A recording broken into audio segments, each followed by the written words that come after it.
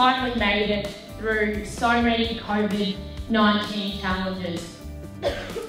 Uh, looking beyond that, I think there's a lot of other challenges our industry have faced, which is um, other natural disasters around floods, drought, um, and I think what uh, has been a common theme over this is the resilience that our big community has shown, and it's really incredible to get to this point tonight to bring 250 of you together to celebrate not only uh, Angus beef, but the next generation that's coming through.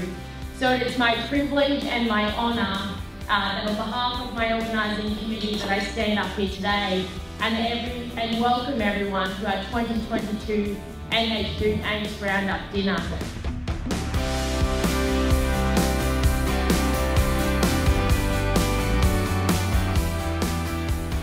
Just on behalf of NH Foods, we're very grateful to uh, sponsor an event like this. Um, I think it's I think it's a great event. I've only been here for a couple of days, but um, just to just to have a look around and I see all these young ones that are sort of really getting involved. Like it, it makes me um, quite happy. You know, like it's a real, it's a really good place. We're in the industry at the moment. Um, and Angus are doing a great job, Angus Australia, and and putting on this event, you know, it takes a fair bit of effort over the last couple of years to get things happening. So we, we appreciate that we can be involved. We appreciate that we can be a sponsor.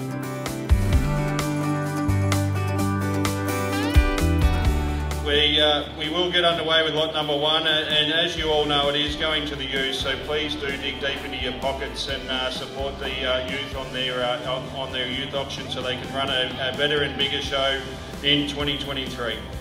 600, Hennepin 6 now, 50, 700, 50, Hennepin 750, Hennepin 750, Hennepin 750 up the corner line, 800, 850, 900 any, Hennepin 900, Hennepin 9 now, Hennepin 900 now, but a 9 9 got, Hennepin 900, Hennepin 9 now, Hennepin 900 now, but a 9 9 Hennepin 900 now with any of the call, Hennepin 9 got, Hennepin 900 now, we're going to put it out at 900, one ready, hold on, 900.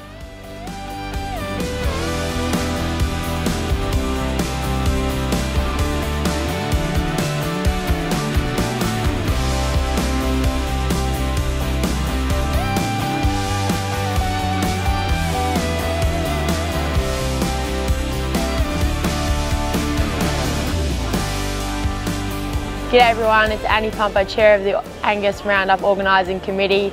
We've just rolled in on our final day here at Wodonga Showgrounds. We've come away from our dinner last night. We're very excitingly, we're proud to announce we raised over $25,000 that's going to go directly back into the youth program.